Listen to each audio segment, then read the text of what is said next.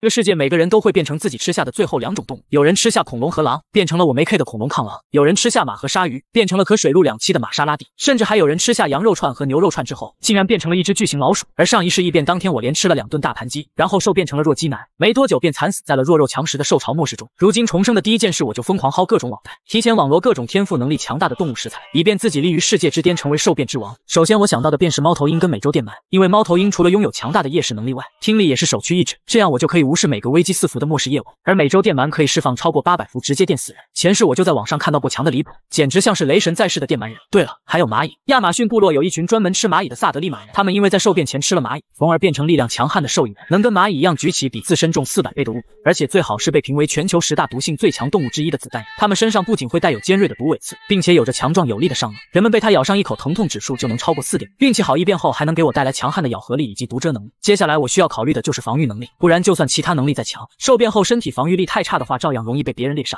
此时我喃喃自语：防御的话，准备哪个动物食材比较好呢？鳄鱼、穿山甲还是乌龟？前世我见识过一个在受变前吃了鳄鱼肉，然后皮肤鳄鱼化的受变者。对方不仅仅力量强大，咬合力以及防御力也跟鳄鱼一样变态。不过为了追求极致防御，我还是决定上网了解一下。结果搜出很多不同的答案，多数答案都说现存的动物中防御最强的动物是球鱼，因为球鱼的盔甲非常坚硬。曾经有人测试，发现子弹击中球鱼的盔甲都会被弹开。但球鱼是濒临灭绝的动物，而且国内没有球鱼分布，我就直接不考虑了。这时我突然眼睛一亮，想到了一种防御惊人、生命。力逆天的生物水熊虫，要知道水熊虫可是被誉为太阳不爆炸它们就不会挂的生物。它们能够忍受很多物种都无法忍受的极端环境，比如被煮沸、被压碎、被冰冻、被扔到外太空，它们都能够继续生存下去。就连遇到核爆，只要不处于核爆中心，即便是面对超强的核辐射，它们也能完全免疫。而且最重要的是，水熊虫分布在全球各地，在淡水的沉渣、潮湿土壤以及苔藓植物的水膜中都能找到它们。因此，在受变灾难降临之前，要是吃水熊虫也能获得水熊虫与生俱来的天赋能力，那么水熊虫绝对是最容易获取也是最棒的一种兽变食材。于是我赶紧出门，向有着苔藓、潮湿土壤的树。林出发，就在我收集了不少苔藓第一时，前方突然爬过一只约莫十公分长的蝾螈。等等，我记得这玩意好像拥有着堪称不死之身的自愈力。随后我立马将这只蝾螈抓取，放在铁盒之中，拍了拍手。我拿过手机上网搜了一下关于蝾螈的资料，蝾螈具有很强的生命力以及自愈能力，所以可以断肢重生，而且就算是心脏没了，它们也不会死亡，然后重新长回心脏。此时我显得异常激动，水熊虫逆天般的顽强生命力，加上蝾螈逆天般的再生能力，二者要是能够作用到我的身上，那我岂不是真的无敌了？接下来的时间，我通过短视频成功购买到了猫头鹰、美洲电鳗和子弹蚁。更让我意外的是。期间我还获得了两只铁定甲虫，从售卖昆虫的博主口中得知，这铁定甲虫是世界上最硬的甲虫品种，就算使劲踩它们或者开车压它们也不会有事，因为铁定甲虫的外骨骼强到可以承受自身体重近四万倍的外力，也就是说，如果按它们的身体比例放大。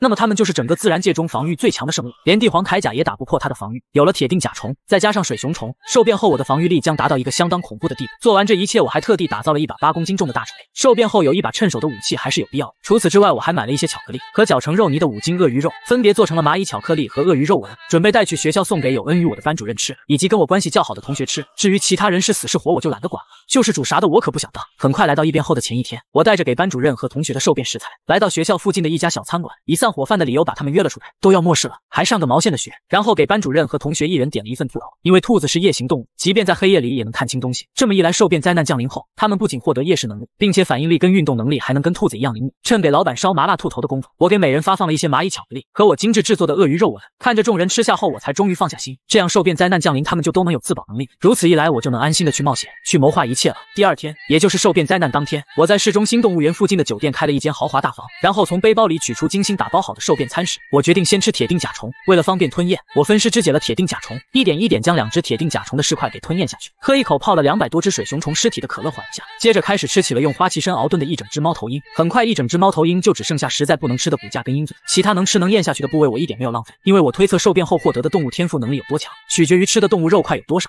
吃一整只兽变后，或许就能获得近乎完整的天赋能力。喝完一整盅有点干苦的鹰参汤后，随后我吃起了裹着面包糠、炸至两面金黄的蝾螈。这是兽变餐食中我心里最抗拒、最难下咽的，但是为了获得蝾螈逆天般的再生。能力，我还是强忍着吞咽了下去。休息会儿，我这才吃起了分量最大的美洲电鳗。最后就剩子弹蚁了，我也不咀嚼，当做是吃药一样，一口一口就着水熊虫可乐灌进胃里。这一顿比黑暗料理还要黑暗的兽变餐食，我硬是吃了整整一个小时。四点了，兽变灾难还有一个小时就要降临。我看着窗外，当夕阳西下的太阳以及挂在天上的月亮突然变成血红色，意味着兽变灾难开始降临了。随着时间一点一点过去，突然我的肚子开始隐隐隐作痛。与此同时，全校沸腾。班主任刘如今天因为没有吃猪肉，不再瘦变得跟猪八戒一样，而是变成了兔女郎，耳朵突然变得毛茸茸，跟兔子耳朵一样长，五官却基本保留了原样，精致的身段看起来像是在扮演兔耳娘一样。很显然，她这个瘦变结果跟吃了红烧兔头有。只是除了红烧兔头，他还吃了鳄鱼肉跟蚂蚁巧克力，因此他身上的皮肤也出现了鳄鱼化现象。只是鳄鱼皮肤被兔毛覆盖，而和我关系比较好的张云中他们却没有出现明显的兔子特征，更多的是呈现出了鳄鱼跟蚂蚁结合的特征，兽变得比较吓人，像极了反派。这到底是怎么回事？张云中看着孔武有力，仿佛覆盖着一层鳄鱼皮的双手，感觉像是在做梦。而此时酒店里的我肚子疼痛的愈发的厉害，迟迟没有兽变，让我顿感大事不妙，因为我吃的兽变食餐只有非洲电鳗算是正常食材，完蛋，千算万算，却忘了算下这些食物吃下去会不会中毒。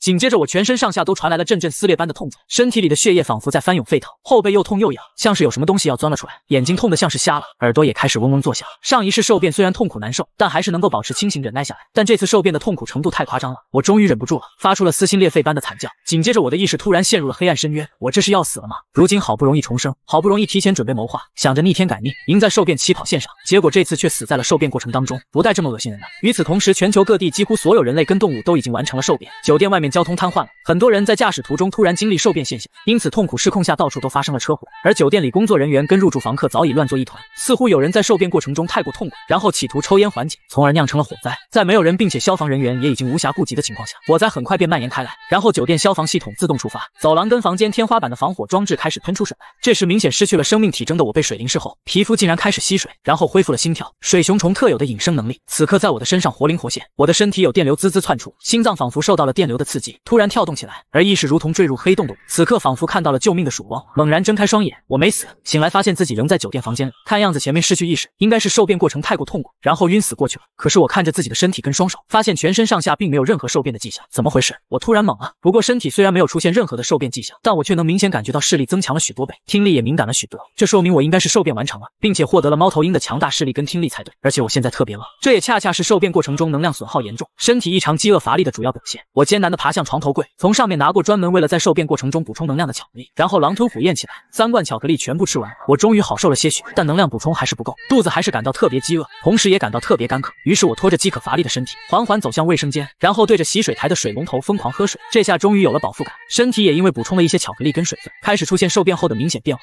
虽然镜子里的外貌跟皮肤都没有任何受变迹象，但眼睛明显已经发生了受变，睛如黑漆，外带金黄，如同鹰眼般霸道锐利。除了确定眼睛视力跟耳朵听力明显发生了受变迹象后，我还发现力量正在恢复增加。我捏了一下门框，直接把门框外围的不锈钢都给捏扁，里面的钢化玻璃更是瞬间炸裂。看来子弹蚁的力量天赋也成功作用到了身上。只是我很不理解，为什么身体出现了受变后带来的能力变化，可外表除了眼睛，其他部位却没有任何受变迹象？难道是因为我昏死过去了，身体受变中断了，所以身体表面没有完成受变现象，但体内却已融合获得了受变能力？眼下我可以断定，猫头鹰跟子弹蚁的天赋能力都已经融合获取到了。水熊虫的话，大概率也成功了，应该是自己昏死过去，意外触发了水熊虫的隐身能力。因为水熊虫一旦判定当前环境状态危及生物，它们就会脱水到一定程度，然后身体蜷缩在一起，像是死了一样。这种假死的现象，他们可以维持上百年，直到身体重新接触到所需水分才会解除，然后满血复活。接下来就剩美洲电鳗、铁定甲虫跟蝾螈了。我知道电鳗的放电能力来自于它特化的肌肉组织所构成的放电体，肌肉组织几乎都能放电，占其身长的百分之八十以上。有数以千计的放电体，每个放电体约可制造零点一五伏特的电压，而当数千个放电体一起全力放电时的电压便高达六百至八百伏特。我尝试着活动刺激一下手臂的肌肉，但肌肉并没有出现电流，不知道是不是因为方法不对，或是没能融合获得电鳗的放电能力。至于铁定甲虫，作为骨骼最硬的甲虫品种，如果受变过程中能够融合获得铁定甲虫的天赋能力，那么理论我体内的骨骼应该也受变完成了。我在想着要不要测试一下，如果身体骨骼真的已经跟铁定甲虫那么强大的话，那我一锤砸下去，身体骨骼肯定屁事都没。但想想还是算了，免得出现意外，自己把自己给弄残废了。不过可以测试一下身体有没有获得蝾螈的再生能力。我蹲下来，从地上捡起刚刚徒手捏爆的一块钢化玻璃，企图划伤左臂进行测试。结果我发现手臂皮肤明明跟平时没有什么区别，而且我现在的力量明明增强了许多。可不管我如何使劲，右手握着的玻璃碎片却怎么也划不破左臂的皮肤，这让我既惊讶又激动。这证明了我也成功获得了铁定甲虫的天赋能力，我无比激动。然后想到自己已经获得子弹蚁的天赋能力，那么咬合力应该也跟子弹蚁那么强了。于是我抬起左手，自己给自己咬了一口，